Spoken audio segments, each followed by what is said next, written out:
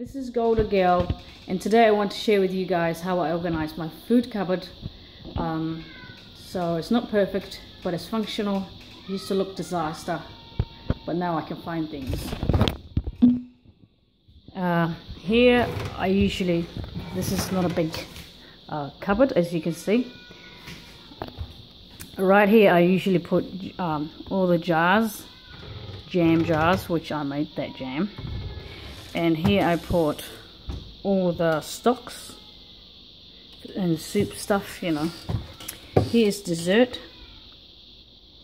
All the cans go here. Breakfast, dinner, snackers, and all the food that is, you know, extra stuff, you know. Right here I put uh, olive oil, any kind of oil, um, vinegar and, you know, other things, and um, olives. And here I put all the wrapping stuff, you know, all the all the wrappings thing, excuse me. Here I put all the um, rubbish bags and, you know, zipping bags and this one I think, it, oh yeah, this one is the, um, what do they call it? Oh, you, you, you know, you seal your food and you put it in the freezer. Um, vacuum sealing bag. That's that one there. Here is another cupboard. There I put all the another, you know, all extra stuff that belongs in this area. Here's all my dry goods. Here's my baking stuff, you know. And here's all the drinks, um, you know, like coffee, uh, tea, tea, and chocolate and other drinks.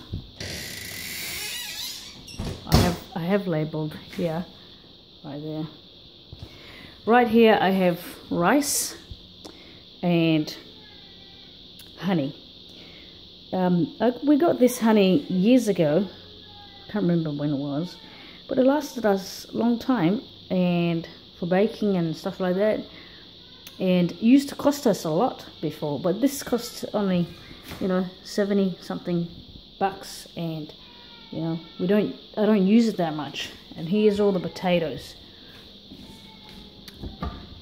here I got the onion because we live in a small house excuse me I have to do something sorry about that um, and here I put all my anyway is other dry stuff all my dry goods some dry goods I got flour and sugar and you know, making cakes and stuff like that.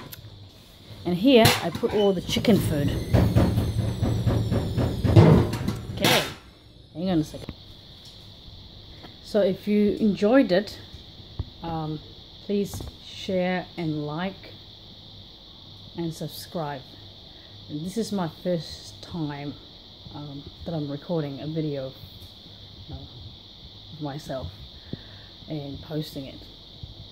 Well i hope you have you enjoyed this and uh, have a great week or great day or great night whatever time zone you have. And bye